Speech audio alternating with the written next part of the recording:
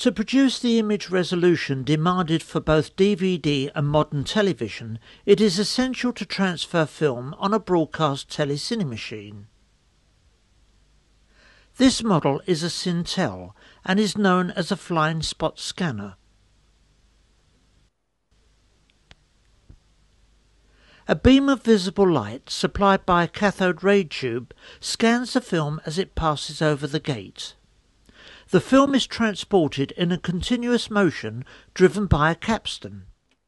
This machine is at present transferring standard 8mm home movies. Standard 8 was also known as Regular 8, and although once considered suitable only for filming Baby on the Lawn, it has now become an important source for archive material.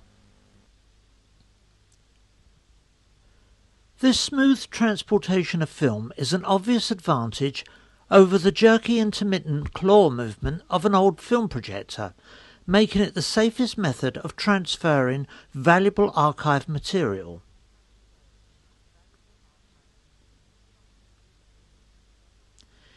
Keeping in mind that this is standard 8mm film and it has the smallest frame area of any home movie format, just take a look at the quality, resolution and colour obtained from these images.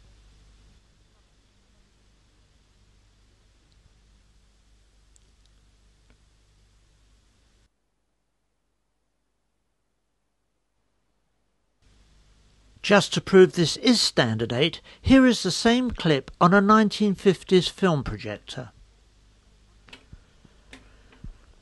The Cintel can also fast forward, reverse and inch to make locating any scene very easy.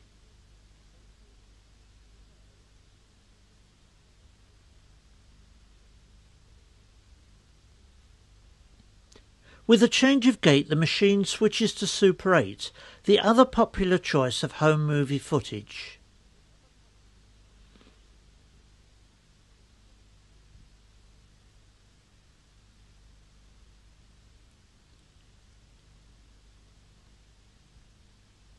This is 9.5mm film.